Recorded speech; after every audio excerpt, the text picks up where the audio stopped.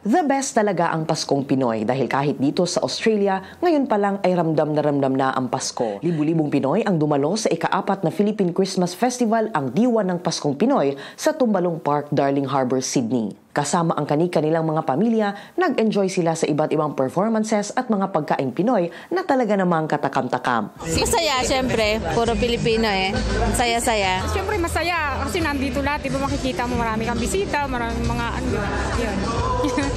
And lahat lahat ng food siyempre nandito kasi mamimiss mo yun yung hindi mo nakakain sa labas, di ba nandito lahat kayo. Kaya naman dinumog ng mga tao ang lahat ng mga food stalls. Kahit mga foreigner ay naaakit sa panlasa ng mga Pilipino. Very good.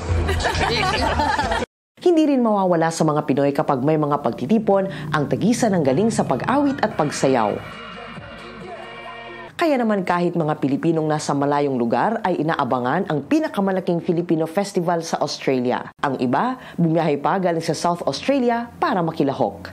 Ang saya, ang saya-saya dito. Madaming tao, maraming pagkain.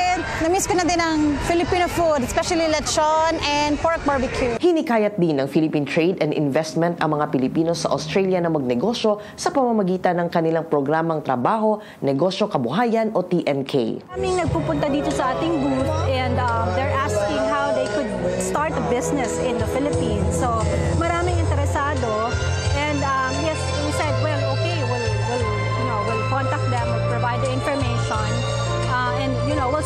conversation on how to help them become a successful entrepreneur. Aabot na sa 120,000 ang bilang ng mga Pilipino na nakatira ngayon sa New South Wales. I understand some have sold out yung stall.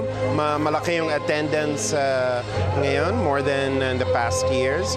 And uh, there are songs and dance in the background as well. So it's been a fun festival so far. Merry Christmas, uh, Happy New Year to all of you. Uh, enjoy your time, stay safe.